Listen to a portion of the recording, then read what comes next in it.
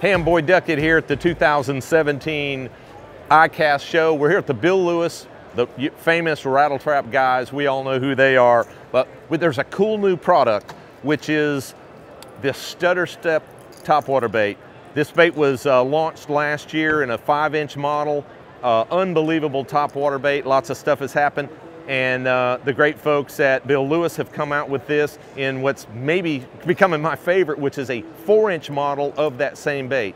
One of the big problems with the shorter topwater baits when you're trying to walk a bait is just the fact that they get hard to manage. A lot, takes a lot of work. And as you can see, this bait in a standard walking motion is real easy to walk. Anybody can walk this bait. That tail helps promote that movement of the walking bait, which just makes it so much easier for every single person to be able to do that.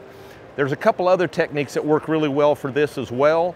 I like to take this bait uh, and actually just retrieve this bait at a steady retrieve and it, and it moves back and forth in the water on those super clear lakes, fall time of the year, when those topwater strikes are kind of rare and the fish get picky, you can pick up the pace of this bait.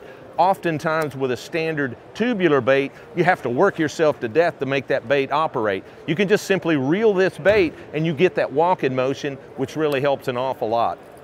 Another uh, technique that I also like to do is kind of walk it and pull it at the same time.